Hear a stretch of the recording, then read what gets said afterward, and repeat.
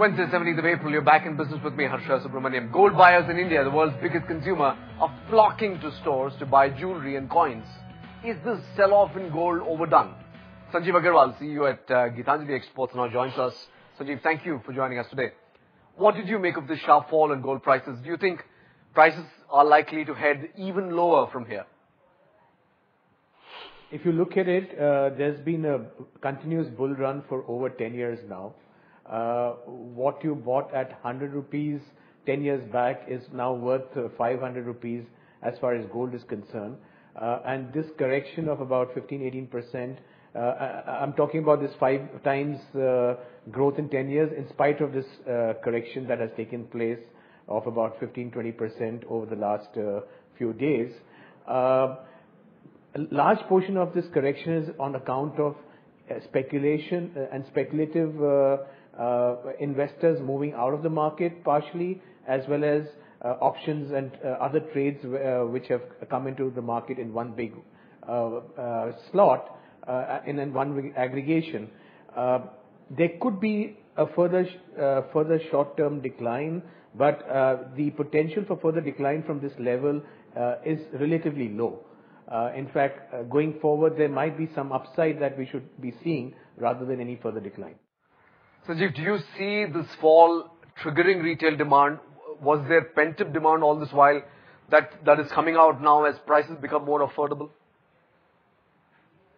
Oh, definitely. Uh, if you look at it over the last three, four days, both inquiries, uh, customer um, uh, movement to our stores, as well as offtake has gone up. And It's surprising, we've seen this offtake in India. We've seen this offtake growth in even the Middle East market, which has been very promising uh, with the drop in gold prices. Uh, clearly, uh, it's an opportunity for a person who's buying jewelry to pick up the requirements of, like you said, pent-up demand, to pick up that requirement that is is the need of the hour, maybe because of the wedding coming up shortly, maybe a pre-booking for Akshaya Tritiya, and so on and so forth. Sanjeev, gold has lost nearly 19% this year, as you said. Do you see speculative activity coming down? Because many analysts seem to suggest that gold may not be a safe haven anymore. What do you think? The growth in demand, as well as the, and hence the increase in prices over the last uh, 10 years, has been largely driven by investment demand and not by jewelry demand. However, in this context, the jewelry demand, in spite of the increase in gold prices in the Indian context, has remained constant. What I mean is that over the last 15 odd years, the amount of gold imports in tonnage uh, has remained more or less steady at about 550 tons, plus or minus 10% uh, uh, year-on-year, in spite of such increase in gold prices. What has moved up significantly is import uh, and purchase of gold in the form of investment. Over 10 years back, the average quantity of gold purchased in the form of investment in India was about 130 tons on an average. That, over the last three, four years, has moved up to 330, 340 tons. So going forward, there, uh, there would be some element of reduction in investment demand. The fear of a sudden spurt and sudden increase in gold prices uh, has or will subside somewhat, and there will be a significant increase in jewelry demand once again. The other interesting factor that we've been seeing over the last uh, few months, and which has become more accentuated now, is the fact that diamond jewelry demand has been going up steadily. Sure. Because in relationship to, uh, to gold prices, the diamond price has been steady.